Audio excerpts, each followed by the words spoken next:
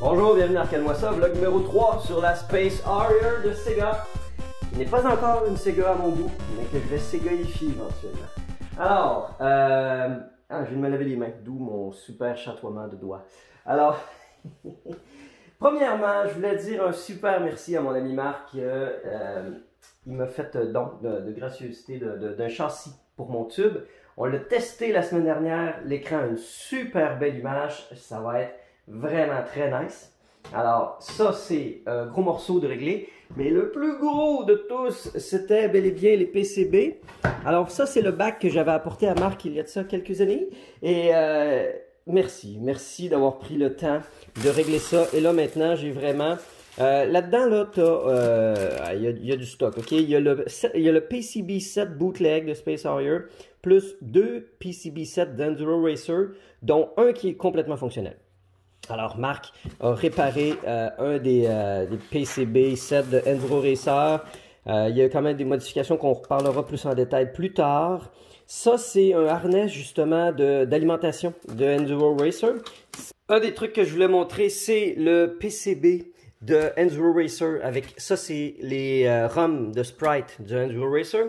Et ça, c'est un PCB avec les ROM de sprite de Space Harrier. Alors, voyez-vous la différence? Comment Space Harrier était vraiment un jeu très audacieux en termes de visuel? Il y a beaucoup, beaucoup, beaucoup de character sprite dans toutes ces ROM. Et ici, j'ai le PCB stack fonctionnel que Marc a réparé qui contient finalement le Space Harrier Enduro Dual Object ROM Board fait par RetroClinic, Dual ROM. Et là, là-dessus, en fin de compte toutes les ROM à la fois de Space Harrier et d'Enduro Racer. Ça ne veut pas dire que je peux faire un switching board, j'ai demandé, et puis non, euh, parce qu'il y a d'autres ROM spécifiques à la game sur le main PCU, mais celui-là, ça évite d'avoir à gérer cette quantité de ROM qui peuvent non seulement défaillir, mais les sockets et tout. Alors, c'est vraiment un super produit qui n'est pas facile à trouver. J'ai été chanceux, je l'ai acheté justement euh, en 2018. Et puis, euh, peut-être qu'il y en refont d'autres. Mais en tout cas, pour l'instant, j'ai ça de fonctionnel. C'est magnifique. Je suis très content. Pour ceux-là, on va les mettre de côté en attendant. Et euh, l'autre truc que j'ai réussi à avoir euh, de la Enduro Racer, c'est la, braquette officielle qui contient en fin de compte le demagnetizer, le service, test switch et le contrôle de volume. Donc ça, je suis content d'avoir de quoi d'officiellement Sega. Et je tiens aussi à souligner le travail titanesque que Marc fait de réussir à réidentifier les, euh, les adresses, les numéros des liens, euh, des plans originaux de Space Harrier parce que Sega était vraiment pas chaud à partager leurs plans et c'était écrit à la main, c'était très difficile de savoir exactement qu'est-ce qui était quoi et Marc a tout réidentifié ça. Un travail de fou pour être capable de déboguer le board. Alors ça, je trouve ça extraordinaire qu'il ait pu faire ce travail-là. Alors c'est... Euh, mon Dieu. Aïe, il y en a vraiment donc ben, J'avais pas encore tout sorti ça. Aïe, aïe, aïe, que c'est dingue. OK, ici, on voit justement originalement, là. Ça a l'air de ça, là. OK? C'est vraiment, vraiment pas évident de se retrouver. Alors, euh, Marc s'est arrangé pour être capable de travailler comme sur le sens du monde avec des plans qui étaient capables de lire. OK, après ça, ici, c'est toutes les pièces qui vont être éventuellement nettoyées, que j'ai démontées dans le dernier vlog. Et on a la borne en tant que telle que je vais mettre euh, sur le côté dans très peu de temps parce que ce que je veux commencer, c'est la base, c'est-à-dire mettre les leg levelers. Je vais aussi retirer les plaques de métal et je veux faire aussi les trims de métal ici pour euh, faire la finition parce que je n'ai pas l'intention de retaper ces morceaux-là. Il y a des trucs sur lesquels je vais un peu tourner les coins ronds et euh, ça va être en faisant des coins carrés.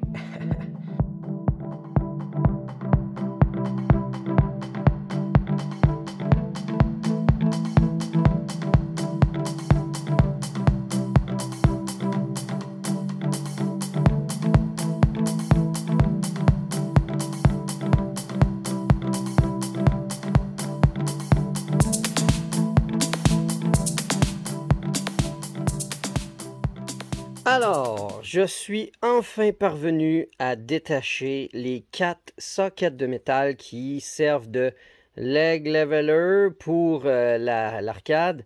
mais en fait, c'est la première fois que je vois ça, c'est complètement aberrant. C'est uniquement des pads de métal qui font que la machine est simplement déposée par terre. Il n'y a rien qui la soulève, il n'y a aucune patte. Là, ce n'est que tu peux mettre un feutre dessus. Et ça explique pourquoi elles sont tous devenues extrêmement rouillées. Alors, je vais non seulement avoir beaucoup de travail de nettoyage, de ponçage et tout, mais je dois aussi les percer. Parce qu'ils n'ont pas le trou pour mettre les leg levelers, qui, euh, comme, euh, ben, comme cela là. Hein?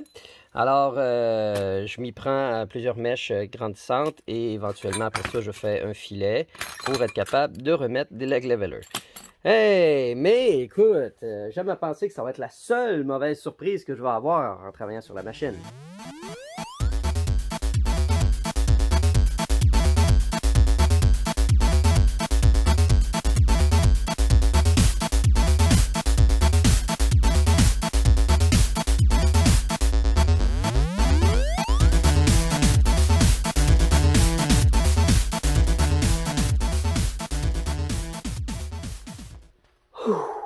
3 décembre. Et ça fait depuis le 9 septembre que j'ai pas mis les pieds dans l'atelier pour vraiment dire que je vais travailler sur une machine. Et là je me suis dit que j'ai un 3 heures devant moi pour terminer la capsule euh, actuelle sur la Space Harrier. Harrier Harrier parce que demain euh, moi et mon associé on prend la route et on s'en va chercher 8 arcades. Et il faut que je fasse de la place parce qu'il faut la mettre ici parce que pour faire un suivi, ben je m'ouvre un bar arcade hein, avec très bon ami. Et l'endroit où ce qu'on ouvre le bar arcade, je posais remarquer dans la petite vignette que j'ai laissée, il y a un gros trou dans le plancher. Parce que l'ancien bar qui tenait place dans cet endroit est un bar de skateboard. Et il y avait une piscine, il y avait un bowl de skate où les gens signaient une décharge et pouvaient faire du skateboard jusqu'à 3 h du matin, ben sous, ben à côté, sur le Jagger, le Red Bull et la Pabst. Et euh, c'était pas la, classe. Ils ont démonté le bol de skate. Il reste un énorme trou. Et c'est l'enjeu majeur pour la progression des travaux.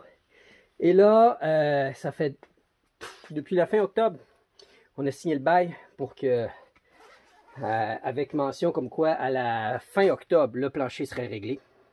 Et là, on est au, début décembre et les travaux ont commencé hier. Alors, euh, on, passe à travers beaucoup, des grosses montagnes russes d'émotions parce que nous, on avance sur, quoi? On a du contrôle, c'est-à-dire l'aménagement, mais euh, en fait, surtout enlever tout ce qui était les anciennes installations, mettre de la peinture.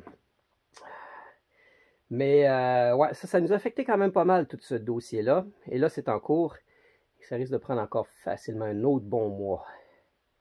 On avait visé une ouverture pour la mi-novembre, au moment de signature du bail. On est chanceux si on ouvre début février. OK, ça fait que euh, je dois entreposer 8 machines ici, demain. Et je dois faire de la place. Et euh, c'est un bordel ici en ce moment. Franchement, je ne vous le cacherai pas, euh, vu que je viens jamais ici. Alors là, pour les trois prochaines heures, je me suis amené une bonne petite bière, de chips, puis des brandy beans, qui est mon calendrier de l'avant. Et euh, selon mon calendrier de l'avant, on est déjà rendu au 6 décembre. Euh, non, on est rendu au 7 décembre. Là, je suis venu faire une passe tout à un moment. Je voyais beaucoup pour les châssis. Parce que là, je vais essayer de répondre un peu à une couple de questions pour vous autres. Entre autres, eh, oui, je vais continuer à entretenir les machines du McFly. C'était notre priorité à mon associé et moi de rencontrer Sylvain du McFly pour lui dire que moi, euh, ben, qu'on ouvrait un bar arcade, quand même pas très loin du McFly. Mais notre but, c'est de créer une synergie dans le quartier. Parce qu'il y a beaucoup de compagnies de jeux vidéo. Et je considère que si on on fait une meilleure offre, il va y avoir encore plus de monde qui va venir. C'est prouvé en marketing, désolé. J'ai étudié là-dedans, je sais de quoi je parle. Après ça, euh, euh, j'ai rassuré Sylvain aussi que une de mes priorités, c'est de maintenir en vie les machines du McFly et euh, les restaurer ici. Et pour cause, j'ai même une machine ici à restaurer qui est la cocktail table ici que je viens tout juste de dégarnir, qui est une cocktail table rendue très générique et que je vais mettre custom pour Bomb Jack. Alors, il y a déjà Bomb Jack dedans qui est brisé. On va réparer la Bomb Jack. On va la restaurer, on va la remettre propre. Mais euh, oui, le McFly fait partie de mes priorités. C'est pourquoi, entre autres, je ne fais plus euh, de, je ne prends plus de nouveaux clients de restauration et de réparation de machines. Mais je conserve les anciens. Et le McFly en fait partie. Et là, je suis dans un beat de travailler sur la Space Harrier aujourd'hui, la remettre sur ses pattes. Alors ici, j'ai pas mal tout ce qu'il faut pour mettre les leg levelers, les ancrages. On va essayer de remettre le panneau, la coin d'or. Qu'est-ce que je suis capable d'accomplir en trois heures pour le plus libérer? Cette table-là, mettre la Space Harrier debout. il y a tout ce matériel-là aussi. Alors, il y a ma cocktail de Pac-Man juste ici. Et ah oui, c'est vrai, écoutez, on va faire un petit unboxing en plus. J'ai un client du McFly régulier qui euh, m'aime bien parce qu'il vient de me donner tout son vieux matériel d'électronique euh, parce qu'il a travaillé là-dedans longtemps. Qui, ça ne se sert plus, il était tout sur le point de tout jeter ça. Alors, il me donne ça. Alors là-dedans, j'ai une grande quantité de, de chips et de fil, on verra plus tard. Un, un joli breadboard, ça c'est bien. Tiens, hein, tant que foutre la merde, on va se répandre. Hein. On, essaie d'avoir du clean-up et pourtant, je me remets là-dedans. Hey, un technical manual. Et de 1 et de 2. Est-ce que je vais en faire ma lecture? Oh, the title data book. Colin, nice ça. Euh, je vais aller sûrement avoir... J'aimerais ça un jour me dire faire du rattrapage pour tout ce qui est connaissance électronique, ce qui me fait beaucoup défaut. Ici, j'ai un générateur de fréquences. C'est la première fois que j'en tiens un dans mes mains. Et juste l'objet est magnifique. Mon Dieu, ça donnerait envie de l'exposer au bar tellement il est beau. C'est donc bien cool, ça. J'ai jamais eu à utiliser ça. Après ça, j'ai plusieurs power adapters. Et euh, ça semble être un fer à souder qui n'a plus sa pointe. Qu'est-ce qu'il y a là-dedans? What's in the box? What's in the box? Alors, ah, ça semble être euh, des, euh, des, condensateurs. Ouais. Cool, cool, cool, cool, cool. C'est nice ça. Alors, condensateur céramique. Et j'ai des résistances bas, des basses résistances. Nice. Après ça, euh, power adapter, ça, ça peut être bien pratique. Ici, j'ai des connecteurs, j'ai des crimps. Ah, ok, oui, pour faire des, connecteurs. Un bon paquet de résistance, plusieurs grosses valeurs de résistance. On va enlever ça. Hop. On va sortir ça. Hop. Et ici, c'est... Ah, un petit truc à tiroir. où j'aime bien les petits trucs à tiroir comme ça, moi. Mais ouais. Plein de connecteurs plein de quincailleries diverses, en fait. Ben écoutez, je vais avoir du fun à explorer ça. Cool, ça va aller direct avec euh, tout ce stage de pièces qui est juste ici. Et après ça, dans ce bac-là, qu'est-ce qu'on a? Ça va avoir vraiment de la vieille barrette de RAM, des mémoires, des PCB, de, PC. Hein? C'est pas, pas récent, ça, c'est du vintage. Oh, c'est une vieille Sound Blaster? Sound Blaster Live. À imaginer, ça avait été la Sound Blaster Gold qui vaut euh, presque 500 pièces. Il y en a une Sound Blaster qui vaut super cher. Euh, non, c'est pas, pas la Sound Blaster, c'est la Adlib. Euh, c'était un produit québécois en plus, une affaire de fou. C'était fait sur Grande Allée. Il avait fait un produit à tout casser. C'était l'enfer, puis pour plusieurs raisons, ça n'avait pas levé, mais ça valait très cher. Euh, plusieurs, plusieurs câbles. Et ici, j'ai, encore une fois, plusieurs câbles. C'est quoi ça? Ça semble être un truc, un fan heatsink. Ici aussi, même chose, fan heatsink. Ok. Bon, ben encore plein de petits stoches à classer, nettoyer, mettre à la bonne place, everything in its right place. C'est que je l'ai mis mon débouche-bouteille ici. Je l'avais vissé quelque part. Je suis un amateur. Je l'ai-tu déplacé? Ah oui, ok, je l'ai mis là. Good. Mhm. Consommation de boissons alcoolisées sur YouTube. Ok. Je vais essayer de me mettre euh, un, setup wide angle pour me voir faire la petite fourmi qui euh, bourdonne. Ouais, une fourmi qui bourdonne à travers l'atelier. Puis euh, on regarde ce que ça donne. Je me donne jusqu'à je me donne jusqu'à 5 heures. Donc j'ai 3 heures devant moi pour faire le plus possible. Wish me luck.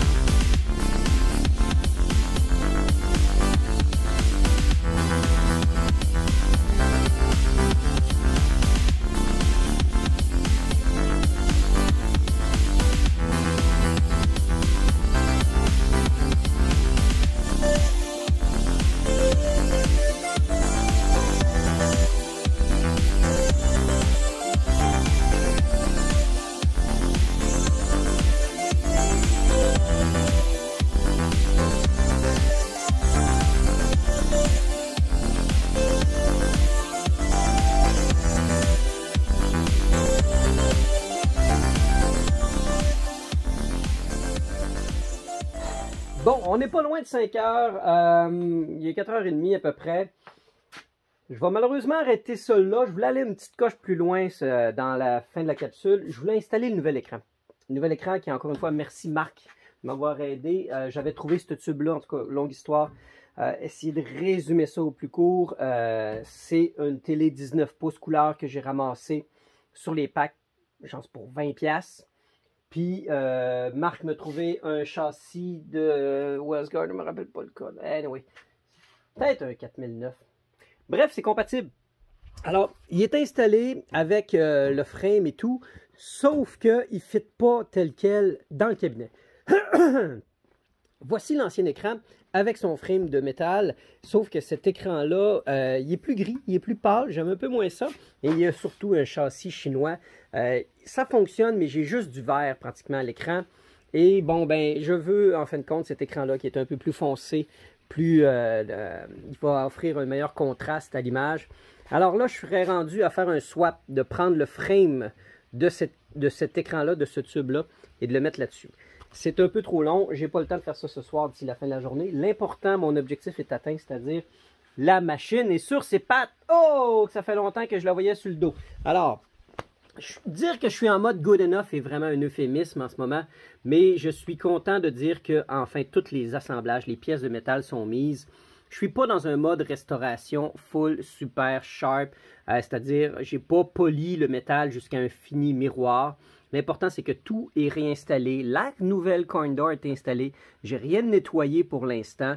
Mais l'important, c'est que la machine est enfin structurellement super solide. Ici, c'était ouvert, mais vraiment là, de presque une demi-pouce.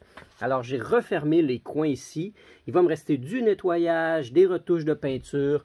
Bref, encore beaucoup de travail qu'on va voir dans la dernière capsule de la Space Harrier quand je vais être rendu à faire le swap d'écran, le reconditionnement du yoke et bien sûr toute l'électricité.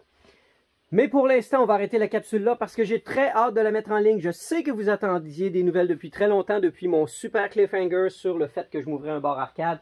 Alors, euh, je suis en pleine forme, ça va très bien. Je sais que vous inquiétez pour moi. Merci beaucoup. Merci pour vos messages d'encouragement. Je m'excuse surtout de ne pas mettre autant de vidéos comme avant c'est bien malgré moi, ce n'est pas parce que j'ai perdu la flamme et que j'ai perdu l'intérêt pour YouTube, c'est vraiment parce que je suis dans une course contre la montre en ce moment. Et euh, j'ai très hâte de vous expliquer en tous les détails tout ce qui s'est passé dans les derniers mois. Derniers mois, c'est seulement, j'aurais aimé ça que ça puisse être juste quelques semaines. Merci beaucoup d'être à l'écoute. Portez-vous bien, partagez, likez, abonnez-vous. Et euh, je vais essayer de vous donner un peu plus de nouvelles sur tous vos commentaires que vous mettez. Euh, je vous lis, euh, mais désolé, j'ai de la misère avec l'entretien de communauté. C'est vraiment malgré moi. C'est pas parce que ça m'intéresse pas. Je me cours après mon ombre. Allez, à bientôt, portez-vous bien. Salut, bye.